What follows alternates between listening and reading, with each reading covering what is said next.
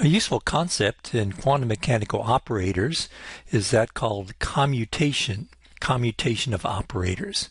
Let's just see what we mean by that. It's very similar to the commutation uh, rule when we talked about algebra. So commutation of operators is where you take um, an operator B and operate on the function and you get another function, then you operate with uh, another operator A. And what you do uh, is reverse the order of operation. Here you operate on A first, then the resulting function is operated on by B. And if you say, if you find that it doesn't matter whether you first do B then A, or whether you do A then B, if you get the same function after those two operations, then you say the two operators commute. If, on the other hand, it makes a difference which operator you take first, then you say the uh, operators do not commute. There's non-commutation of operators.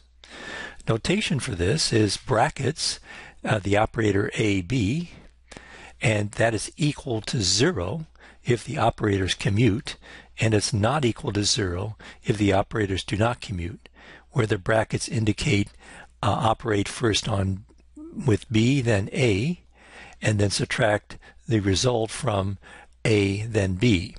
And if it doesn't make a difference whether you do B then A or A then B, then this result will be equal to zero, and there'll be uh, the operators will commute. If, on the other hand, this does make a difference, um, and therefore, if uh, you get a different function, when you subtract the two results, you will not get zero, and you say the operators do not commute. All right, we'll see in a minute why this is important. But let's take some examples first. Let's look at the operators for kinetic energy and for momentum in the x direction. We'll show that these operators commute. Okay, let's just show that. So the kinetic energy operator, we know by now, is minus um, h bar squared over 2m second derivative and the momentum operator, this is in just one dimension in the x direction, the momentum operator is just minus i h bar first derivative with respect to x. Now, let's see if they commute. In other words, let's do the kinetic energy operator on the result of when we do the momentum operator on a particular function psi does that equal uh, the result we get when we first do the kinetic energy operator on that function? And then whatever we get there we then do the momentum operator in the x direction. So let's see if that's true. Well let's put in what these uh, operators are. The kinetic energy operator minus h bar squared over 2m second derivative with respect to x uh, minus i h bar. We're doing now this, the first derivative with respect to x, and we're operating that on some function psi. Uh, let's go ahead and see what we get here. Uh, i h bar is a constant, so we can pull that out. So this is minus h bar squared over 2m minus i h bar and now we uh, left with the second derivative and then the first derivative. That's the same thing as taking the third derivative. Okay, and then we just rearrange these things. All right, so the third derivative, we can rewrite that.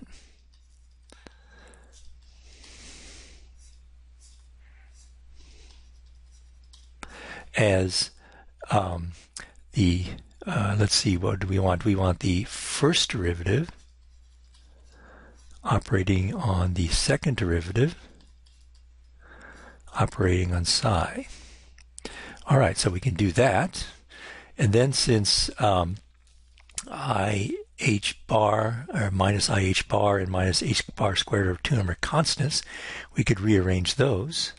So this is just minus i h bar first derivative with respect to x and then here we have, we're going to take this inside here, minus h bar squared over 2m, second derivative with respect to x squared of psi. And this is just momentum operator, px. This is just the kinetic energy operator in the x direction operating on psi. So what we've shown is that if you start first with the momentum operator and then with the kinetic energy operator, you get the same thing as if you started with the kinetic energy operator and then with the momentum operator. So we would say that uh, kinetic energy and momentum in the x direction, they commute. And we write that with brackets ke comma px bracket equal zero. However, let's look at this case. The operators for uh, px, momentum in the x direction, and the actual distance x do not commute. Let's show, uh, let's show that. Okay, so we want, uh, let's write uh, px, and then we have the uh, position operator, and we're going to operate that on a function psi. Let's write what that is. That's uh, minus i h bar derivative respect to x. The position operator is just multiply by x times psi. All right. Now we run into a difficulty here. Both x and psi are functions of x, so we have to say take fir the first um, quantity x times the derivative of the second plus the second quantity times the derivative of the first, dx by uh, dx. Okay, so that's just equal to minus i h bar um, x d psi dx plus psi. Now we want to know if this is equal to what we did here, we just want to switch here. So momentum first, then position. So is that equal to the uh, position operator uh, operating on the result of the momentum operator operating on psi? Well, if we just put in again what those are, x, this is minus i h bar d by dx of psi. We're operating on psi here. And we, we can rearrange this. We just put the x inside. This is minus i h bar x dx, or sorry, that's d psi dx. So, is this equal to that? The answer is no, it's not you have this extra term here, psi, that you don't have here. So in fact, if you operate first with x and then with px, you'll get a different result than if you operate first with px and then with x. So you would say that the two operators here do not commute. You, you get a difference depending on what order you do the uh, uh, operations, and therefore px and x do not commute. So why are these things important? Why is it important to determine whether two operators in quantum mechanics commute?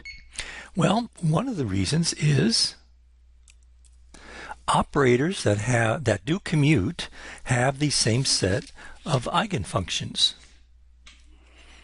So for example, we just showed that the kinetic energy operator in one dimension and the momentum operator in the same dimension, they commute.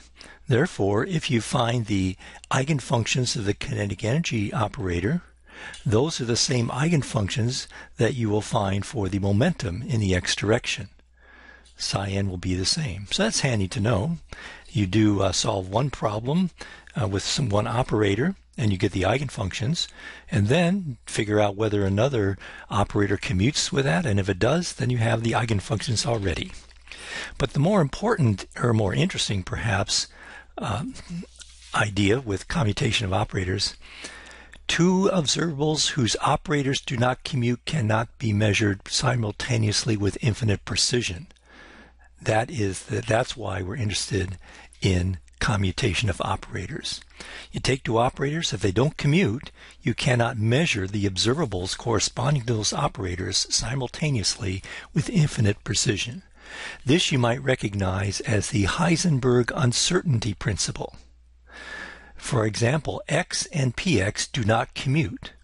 Therefore, the um, precision with which you measure x and the precision with which you measure momentum in the x direction, uh, the product of those cannot be zero.